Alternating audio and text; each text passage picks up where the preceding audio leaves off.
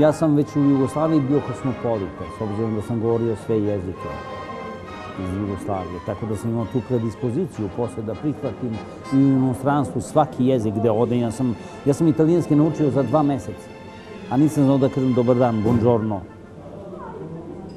Tako da je za mene najnormalnije, ali je jako važno da ti kad naučiš jezik da poznaš i folklor i kulturu tog jezika. Japanski mi je dosta lak jezik, jedini orijentalni jezik koji je stvarno meni lak. Što se tiče dikcije izgovora, ne bi mogao koreanski, kineski pogotovo. A japanski govorim baš ono sa njihovim akcentom, baš ono, odsečano. I francuski apsolutno, i nemački, pevajući lider, španski isto,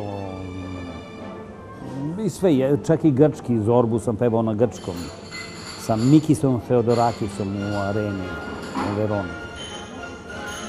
Tako da, onda ispadne najnormalnije da se govori što je moguće više jezika, ali normalno prevladava uvek najvažniji najlepši jezik, znate i sami koji je, ljudski.